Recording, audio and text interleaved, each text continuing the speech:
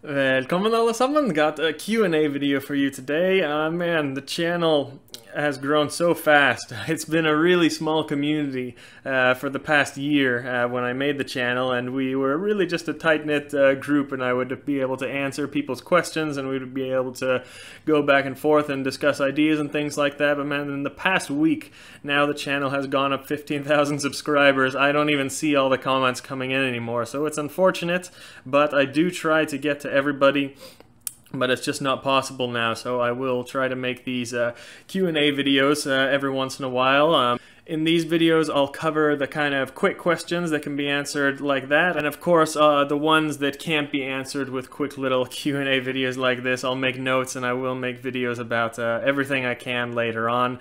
It's just uh, lots of comments coming in, so thank you so much to all you new people. Uh, welcome, you're very welcome. And uh, to the old people, I still remember you. I remember the ones. I remember you who have been there uh, from the start, and I will not forget you, and I will always get to your questions first. And the people people who have come in now too. Uh, if the channel does get uh, any bigger, I'll remember you guys now uh, of the new people who have just found it. But um, yeah, anyway, here we go. Q&A. Uh, Ghost asking if I can speak about Celtic paganism. Yeah, I'd love to. I don't know a whole lot. Nobody knows a whole lot about Celtic paganism because they just have far less written sources than us, but they're still very, very similar spiritualities. I don't, I don't really like speaking about cultures and history that I don't know a whole lot about. I know a little bit about the Celtic, but it would be really cool to, in the future, do some collab videos with people who know a lot more about the Celtic than me, and then we can see, of course, all of the uh, similarities between the Norse and Celtic uh, ancient spiritualities. Yeet Machine, jeg tror det var norsk, hvis jeg husker riktig. Yeah, sounds like a sailor here asking about magic, uh, about ships or seacraft. Uh, sounds like something like that. Uh, yes, absolutely, we had magic like this. Um, I don't know if there's anything that tells us specifically how to do it uh, off the top of my head. Uh, uh, we have Havamal, um, Odin's 18 charms called Ljodatal. Um, Odin in there says that he knows how to sing a song, sing Galdr, in order to keep the ship safe and, and calm the seas, but he doesn't know, he doesn't tell us what that song is. And there's another one uh, in the Poetic Edda too, um, Sigurdrifumal, and that is uh, the Valkyrie Brynhildr um, telling Sigurd that she knows runes to carve to keep the ship safe, carve some runes on the ship, but again, it doesn't tell us exactly uh, which runes. Uh, and also we have a lot of sagas mentioning certain uh, magic about the sea, calming the sea, uh, getting home safe, things like that. But I can't think of anything off the top of my head that exactly tells us how to do it. But there are some things that come a bit later on in time that definitely have pagan origin, and uh, yeah, I can do some video about that. Seafaring people, that's definitely a Viking subject, and uh, I will speak about that. Nathan Carr do a video on Tengrism, he says. Yeah, I know nothing about it, uh, actually. I just heard it, saw some little quick things. Uh, would be interesting to take a look. I love that more than more than anything else at this point in my life, really. There's not a whole lot much more I can learn about the Norse, so I always love looking into foreign spiritualities and uh, and looking what similarities and what things we can uh, compare to fill in the missing pieces. There's lots more... There's lots more compliments than questions here. Uh, thank you, guys. Um, yeah, I get requests about how to support if I have a Patreon and things like that, and my heart goes out to you. Thank you guys so much, people that want to support, but and I just don't agree with all that Patreon stuff. I, I make these videos for the people and for the world. You guys are my people, and I'm uh, people who are just tired of lies being spread uh, with no historical sources. So I'll always make these videos for free. I don't want to charge anyone for it. And you know, you guys, honestly, you shouldn't be paying you know paying some greedy YouTuber a monthly fee just for vlogging and, doing some bullshit. Uh, that's your hard-earned money, guys. You should. I would rather you save it and and invest it in yourself and and create a better future for you and your family. Um, if you're giving someone, you know, monthly dues and all they're giving you back is a fuck uh, who knows what do they do you you get exclusive content right or you get your oh you get your name in the credits whoop-de-doo man That sounds like a rip-off to me i don't I, I don't think i'll make a patreon if i do if I do end up making one in the future, I would really like to give something back to you guys, give something really, really valuable, and I just don't know what that would be. Because, um, yeah, just videos, I'll always make that for free. I don't want anyone to pay for that. If you want to support, though, you might be interested. I have an online shop. Um, it's it's totally separate. It's a little business I've set up. I sell um, like combat sportswear and uh, and training gear for MMA and things like that. Um, the website is up, but nothing's for sale yet. I'll leave a link to it below, but check back in the next couple of weeks if you're interested in like training and those kinds of things. I'll I'll have some stuff for sale there. Uh, Romling. Uh -huh. Yeah, so there I there, I get this question a lot uh, on all the comments, and I have to answer each individual people. So I have a complicated story. I'm just gonna say it once here, and it just takes too long. I don't like to, so I don't have to say it again. Yes, uh, Norwegian. We're all from uh. My whole family as far back as we have records, a little town in the east of Norway. Uh, my whole family's still there and will probably never leave, and uh, we've probably already been there. Uh, my parents are the only ones who left the town. So I've lived actually a lot of places in the world. I've lived in the U.S. Uh, for for quite some time. Uh, Germany, uh, Greece, uh, England. I've spent a lot of time into. I've I've lived a lot of places. Um, Norway. I think I've only lived. If you add up everything, uh, eight, ten years in my life, I've lived in Norway total. Uh, so yeah, that's also why I speak a little bit funny. Norwegians will notice I have a little accent, but um, yeah, of course I can understand uh, Swedish and Danish too. That's no problem. Ian Carton. yeah, I'm not a fan of Charlemagne. You're right. I don't think anyone here is a fan of Charlemagne. His impact, yeah, he fucked us up. That's his impact, especially if your ancestry is uh, Frisian or Northern German. But um, it's funny you say impact. See, there's at least one cool thing that happens when a pagan people gets Christianized, and that is we start to see certain practices pop up in the sources. Uh, Charlemagne uh, made pagan gods and ceremonies and things like that illegal, but there are certain things you can't stop a people from doing no matter what. You know, celebrating their holidays, speaking their language, daily practices, certain, you know, magical practices and traditions. And these are the things that are actually far more important for paganism in in regular day-to-day life. And the Christians you know actually they wrote a lot of these things down not even knowing what they were. And that's how we still have them today that there's the uh, way for us to see what it was like in ancient times. So that's pretty much the only positive impact that uh, Charlemagne had. Jasmin Lauff uh, were the Vikings as bad as most people claim uh, okay, long question.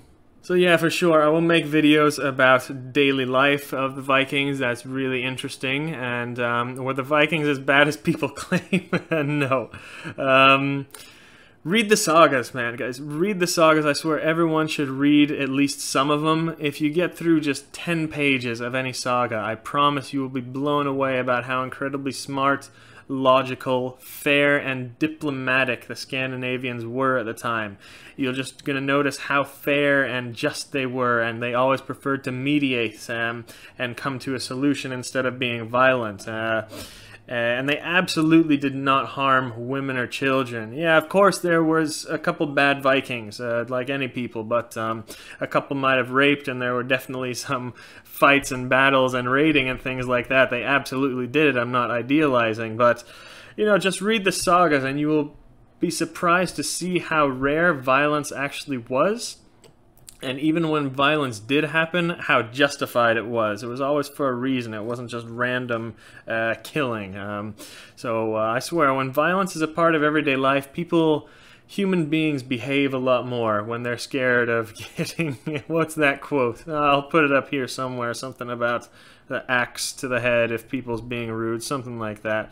Uh, I think they're far more peaceful and civilized back then than we are today in certain ways, not every way. And um, yeah, about the sagas you mentioned and the written sources, most of them are written by Christians, yeah. Uh, a couple hundred years after the events happened, and they're not 100% reliable.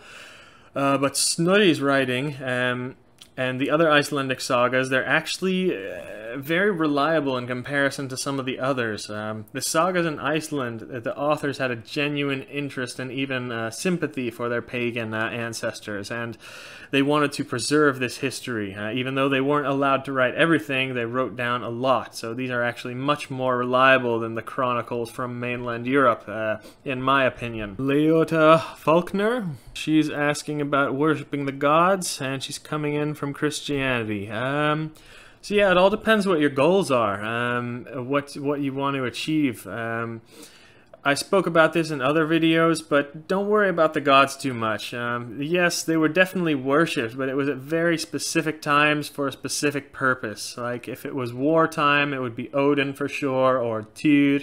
If it was just a regular daily life, uh, agricultural community, uh, harvest, it would be Freyr, things like that. Um, but like I said in other videos, I would like to see people focus much more on other spirits, uh, land spirits, elves, uh, Fylgja, Hamingja, trolls, if you're into magic, like you said. Um, these different types of things, they're around us every day, um, and we can really uh, get a lot more out of it, and, and they were worshipped and communicated with in pagan times a lot more than the gods. Um, worshipping the gods, like I see a lot of people doing, this is 100% a Christian thing um, that people have brought into paganism, and it's all well and good, but just you know, it's for certain situations, not uh, not to be done every day. I would rather you focus on these other spiritual entities uh, every day.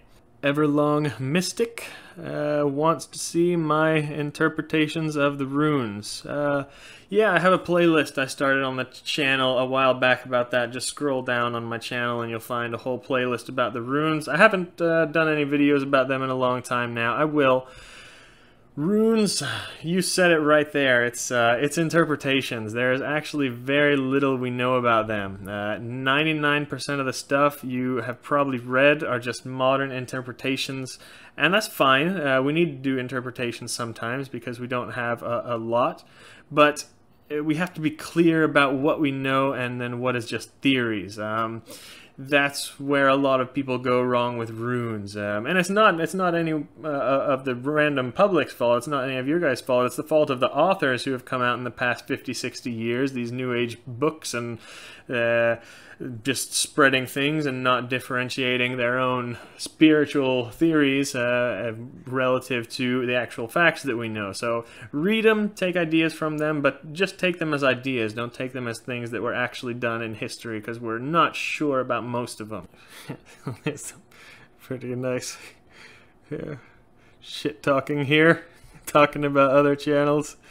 Uh, Lauren Noel, don't know, uh, don't know if that's how you say that name there, but uh, she's asking about the Norse Gaels and the Celtic Knot.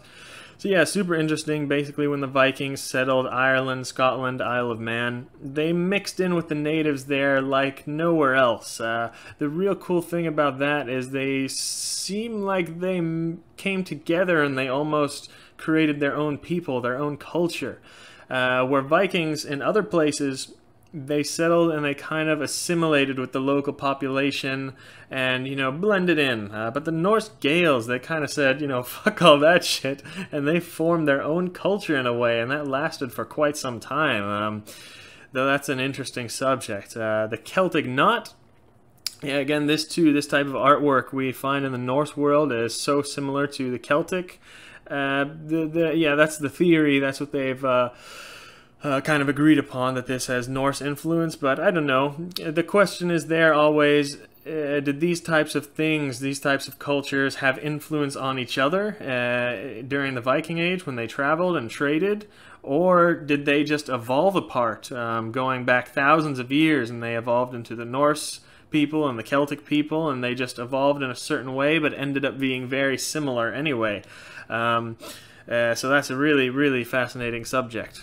Okay, two questions right after each other here. Charles Anderson and Lost Aggie how accurate was the Vikings TV show?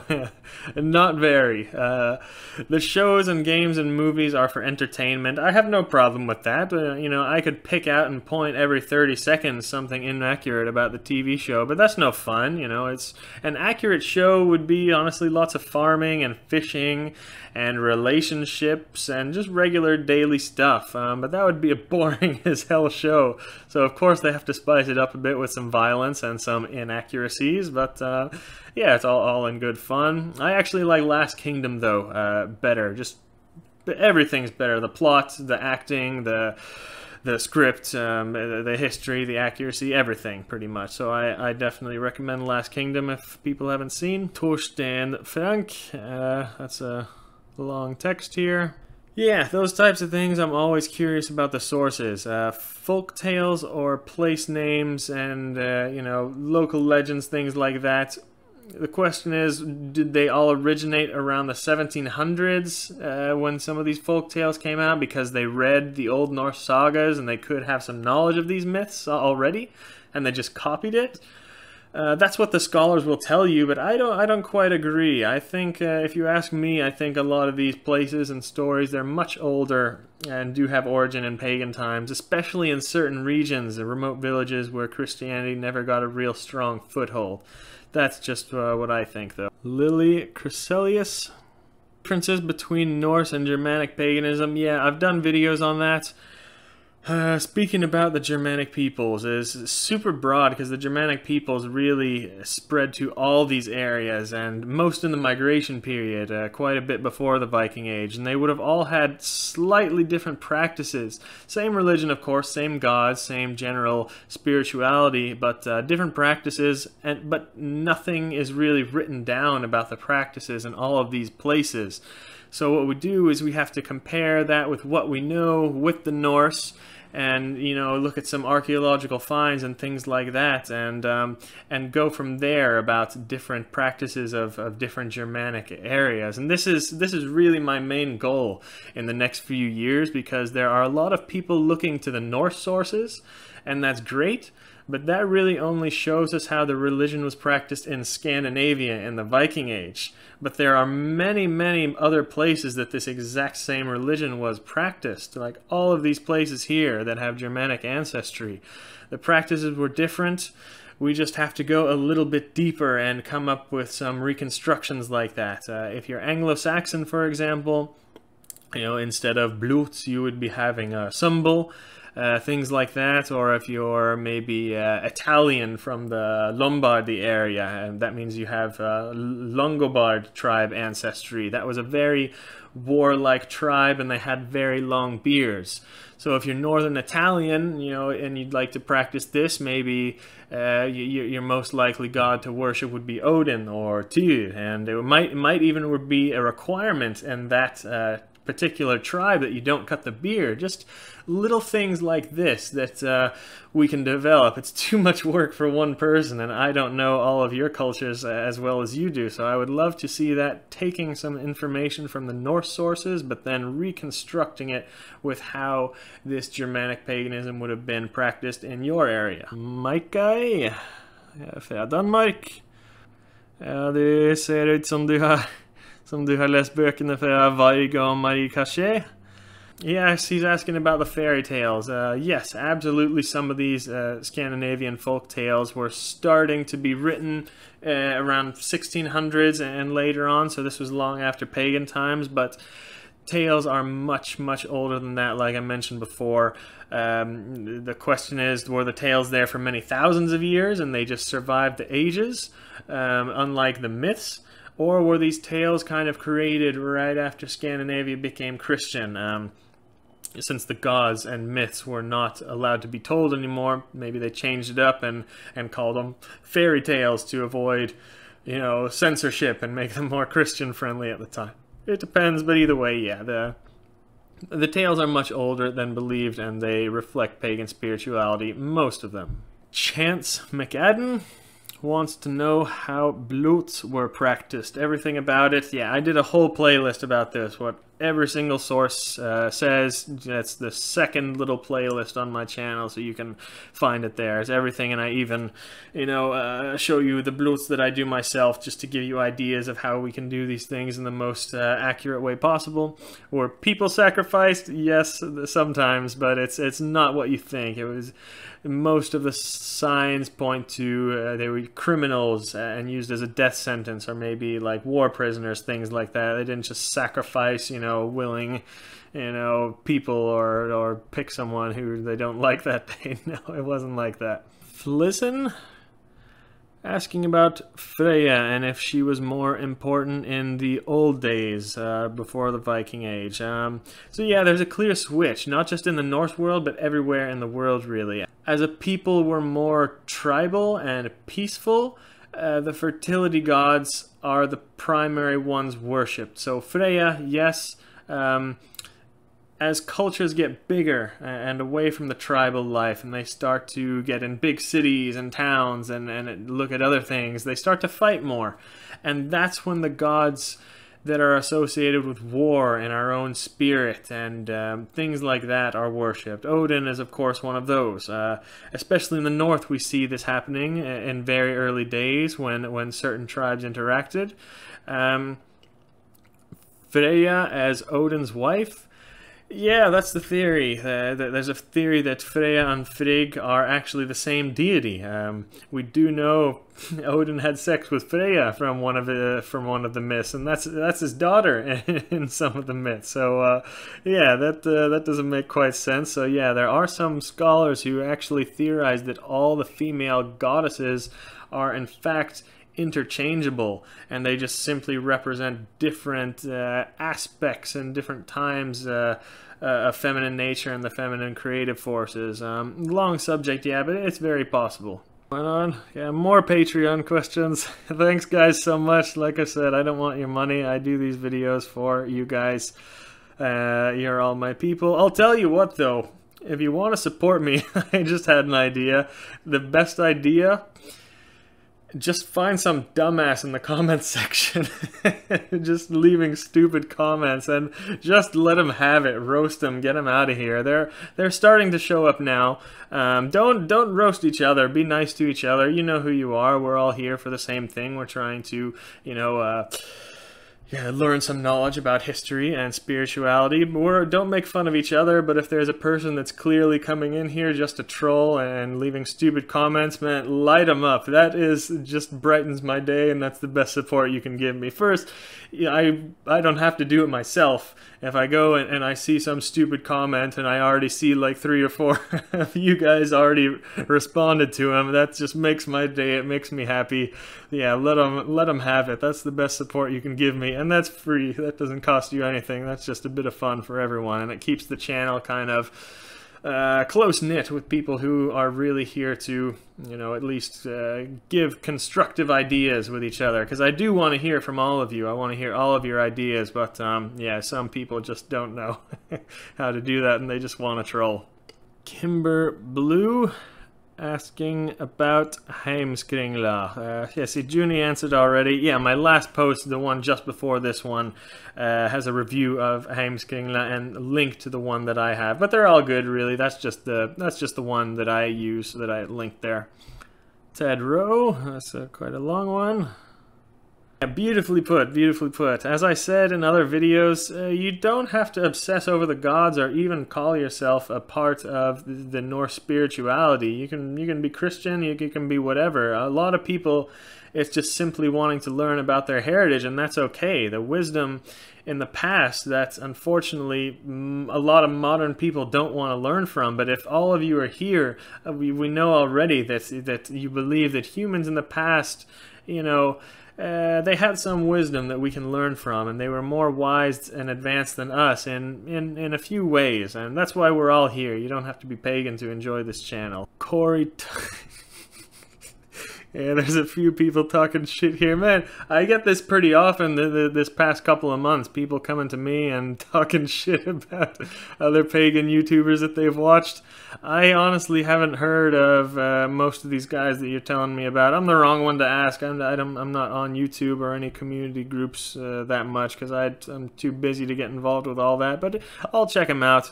Uh, I don't want to start any rivalries, though. I don't want to say anything bad about anyone, unless they start. If if some other YouTubers want it, I'll I'll, I'll give them some. I'll roast them. You know this, but I would rather make friends instead of enemies. But uh, yeah, that's uh, if they want some, I'll give it to them. Jackie Maddelena pagan influence on Christian holidays. Uh, absolutely, yeah. I have a playlist about holidays and traditions too. That's on my channel. Um, it's literally every single one. Uh, every single holiday, at least that we have in the north. Uh, in Scandinavia, uh, there's at least some evidence that it was pagan of origin. Um, and pagans loved holidays, and we see it today in Scandinavia. We have so many holidays where the whole country just shuts down and there's nothing to eat. The grocery stores are closed and nothing to eat besides fucking pizza and kebab, and I'm hungry. it's like nowhere else in the world. Our lazy asses like to take days off and party, then we get hard back to work. We work hard, but we definitely like our free time, and this is this is deeply involved in our uh, history for thousands of years. So yes, almost every holiday has some pagan, you know, origin or influence at least. Michael. Okay, han er dansker. Um, yeah, he's recommending a link and asking about the similarities to Freemasonry. I'll take a quick look. Uh, yeah, that video is five hours long. Yeah, I'll check it out. Well, I I probably won't, but I'll watch a little bit of it. Um, uh, yeah, I'll watch a little. It looks pretty cool. I don't know anything about Freemasonry, but that subject has come up a couple times, and people asking the past few weeks. Um, noting some parallels there. I know nothing about it. I, I really don't, but I'll do some looking and see what I can find out. Yellow Man. Yeah, yeah, so there are two different religions. Druids were Celtic and the Norse, that's two different religions. They're related, they're very close related, they're cousins. Um, Druids in the Norse beliefs would be called uh, Gothi or Vitki, um, or of course the Völva if it was a female. I don't know a whole lot about the Druids. I've uh, I've definitely done a good uh, amount of it, but from what I've seen, it's almost the same types of practices as the Norse. Um, at least if we go far back in time, the Druids were were quite a bit before the Viking Age, and they think they were pretty much gone by the Viking Age. I don't agree. I think they were still there in some form, but um, yeah, that's at least what the scholars agree on. yeah, more talking shit. I don't like it. Yeah, I've seen Ardith Hedigid. Um, I, I, saw him a while, a couple years ago. I watched his stuff. I haven't lately, so I can't say anything. Only what others have told me. Man, you guys, you know me. You don't have to worry about me going woke or social justice warrior. I think, I think more you'll have to worry about me being anti-woke. and just roasting these people and getting canceled and removed from here. That's probably more likely, but I'm going to try to stay away from all that politics stuff so we can keep the channel here. Erik Lorrain. Why worship the elves and ancestors if we are all reincarnated anyway? Um, yeah, geez, that could be done for a lot of reasons. Uh, all pagan cultures around the world had uh, some sort of ancestral worship, especially the ones that believe in reincarnation. Uh, there could be lots of reasons for this. Um, uh, the soul uh, is believed in a lot of cultures to have multiple parts. Part of your soul gets reincarnated into a new body, part of it remains in the spirit world, and then reunited again when you die. Um, sometimes ancestral worship is just to honor the deeds of ancestors. Um, also, telling these stories uh, actually helps us remember past lives um, and what has been passed down to us. Uh, also, something cool about this that you asked whenever some type of uh, whenever we hear some type of practice about calling the ancestral spirits or waking the ancestral, uh, waking the dead, things like that, um, alfablot, utiseta, uh, it always is done in the middle of the night as opposed to other magic practices. Why?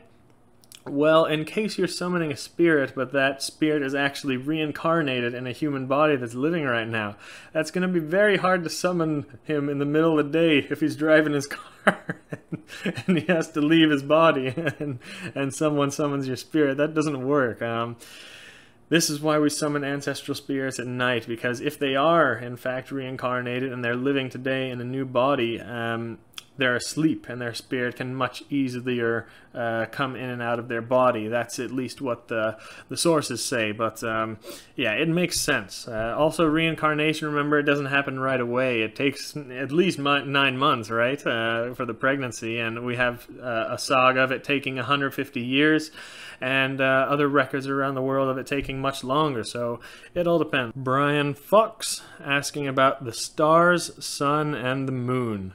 Uh, yes, absolutely. We had deities representing these things: uh, Sol, Mani, uh, uh various stars, and things like that.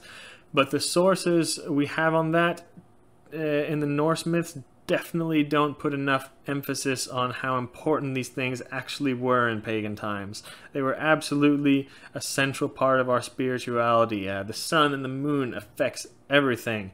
Were they worshipped? Uh, in very ancient times, yes, all primitive tribal cultures had some sort of uh, sun or moon worship.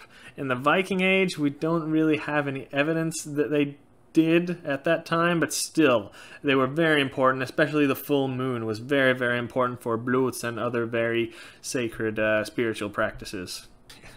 Some more shit talking. Thank you, Vicky. Uh, Dennis Kolosov uh, sounds like an Eastern European asking about his ancestors, maybe? The Rus Vikings. Uh, yes, they were very, very closely um, identical uh, to the Vikings in Scandinavia, with a few small differences. There would be, of course. Again, we don't have a lot of sources for this. Uh, Ibn Fadlan's account of the Rus Vikings is the best one. Really fascinating, and I can make a whole long video about that whole uh, situation there. Um, the question about the Rus or the Varangian Guard too, or any of these, uh, you know, uh, Scandinavian descended peoples in the east of Europe, is how many generations were they removed from native Scandinavians? Yes, we know Swedish Vikings came to the east and did all this cool stuff, but was it Vikings actually born and raised in Sweden that came there directly, first generation? Or were they Swedish Vikings who traveled east, you know, married some beautiful Slavic girls, had some kids, and a couple generations down the road, that was the Rus that we read about. We don't know. I think it's probably a combination of the two, but uh, yeah, lots of videos to come on that one for sure. Illuminutty? Uh, yeah. Yeah, I actually spoke with him. He reached out to me, the guy from Forum Borealis. He he might have me on his podcast sometime. I haven't seen that episode, and I know nothing about Freemasonry, like I mentioned before, so I can't say. But uh, from what I've been hearing, yeah, it looks pretty interesting. So I will, uh, I'll check all that out sometime soon. Aske one, uh, Valhalla by Peter Madsen. Yeah, I read his comics when I was a kid and saw the movie. I don't really remember too much. Um, I think he probably he probably could have drawn the comics a little bit more manly, but yeah, I got no problem with these comics or movies about Norse culture. As long as they're for kids, you know. These, that's what people understand, these myths were first uh, created for kids. They, they would have been told to children in the Viking Age too, uh, as, as fun stories, as a way to understand the universe, and, you know, they would understand these myths more and more as they got older. Problem is, today, it's just dumbass adults who watch these shows and books and comics and play these video games and they know nothing about history and they think that all these things are true and they just assume our ancestors were a bunch of dumbasses, barbaric cavemen. Um, so it's the adults with the child's brains looking at these things in modern times that's the problem. But that's why I'm here, and that's why you're all here too, because we're trying to fix that. More Patreon stuff. I already spoke about that. Katarina Wikholm um, asking about Frey and the Norse cult. Uh, yes, Frey is very associated with horses and fertility, as you know. Uh, But what most people don't know is you said it right there in your comments. Another name for Freyr was frø. It meant the same thing back then as it does today in Scandinavia seed or even sperm. And it's incredible how closely these things are connective. And Freyr in the myths always has to do with uh, masculine fertility forces, and for sure he's he's a very very ancient deity going back to the Bronze Age, probably even before. Of course, it would have had a different name most likely, but uh, yeah, very interesting, and I will speak more about that too. Mr. Parrehesian Yes, absolutely. The language is the key to understanding some of these lost secrets, um, like you mentioned. Uh, the ruling powers, they can destroy our written sources and traditions over a thousand years, but they can't make us speak a certain way. They try to, but they're not able to. So language study has an incredible amount of things that we can learn from. A perfect example, most of you, before you came to my channel, didn't even know that every single god's name has it was a real old Norse word with a definition. But scholars over the past 200 years they had just haven't even bothered to translate the gods' names in the myths, and without that, the entire myth just sounds like a bunch of gibberish. Um, but when you translate the actual gods' names, you know, the, you, everything starts to make a lot more sense. Then uh, I recommend best translation of the Eddas is Maria Kvilhaug's books. Um, she is one of the few authors that's actually translating the myths word for word and trying to give a complete understanding. Idyllic Fool? Well, hope we can uh, get you to subscribe, man. The only, I think this is a lot of people that have come here too. The most of the two videos the that people have seen are the ones where I'm just talking shit.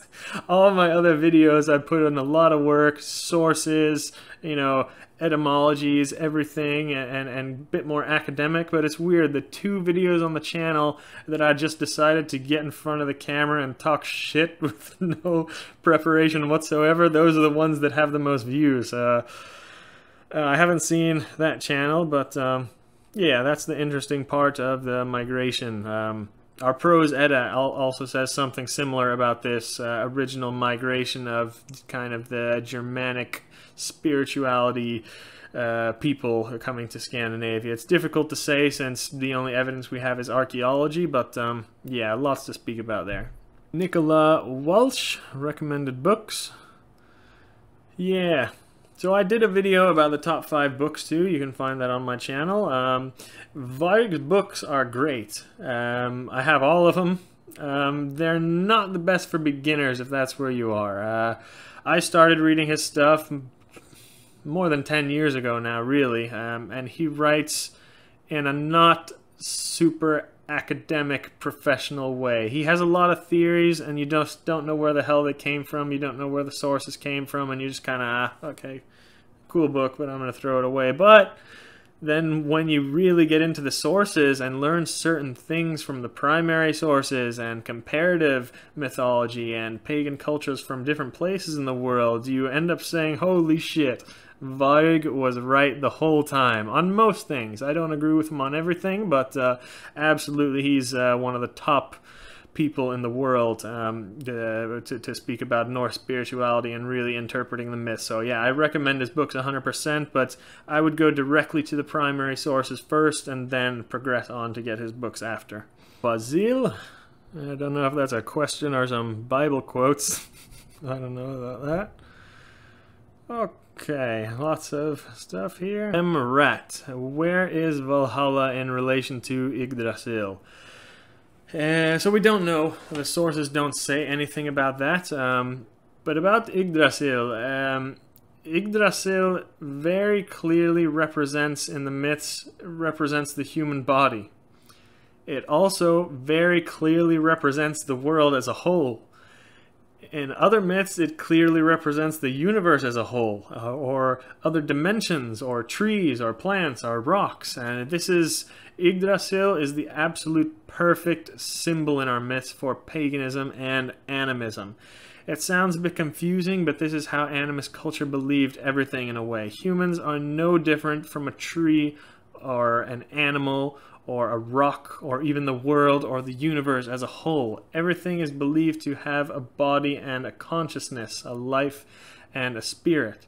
And in different myths, Yggdrasil represents uh, different things, but it always comes back to uh, you know certain parts of whatever the organism is it is referring to the whole world the the body anything it's just like this little hair on our arm is is a living conscious thing that knows what to do and it can die too and it's a part of our body that's what we are to the world everything is a part of everything um, when you think about it if you get bigger and bigger that's just that's just the key to understanding animism um, and, uh, and, paganism. So that's uh, super cool, and that's why Yggdrasil is such a sacred symbol. That looks like about it. That's all the other questions, uh, uh at least, but uh, there were many more compliments, and I thank you guys all for complimenting. Um, yeah, welcome to the channel. That's all I'll say for today, and I'll uh, I'll see what happens. Um, uh, reach out to me on Instagram if you have some uh, a little bit deeper, uh, more more uh, private questions. Um, I'll always answer there. Um, I'll maybe do these Q&A videos every so often, but there's just so many comments coming in right now, I can't get to them all. But um, yeah, if you really want to reach out to me, Instagram is the best. I'll for sure get those and be able to reply. Um, yeah, that's all I'll say for today. That video was long, but um, Vi ses nästa gång.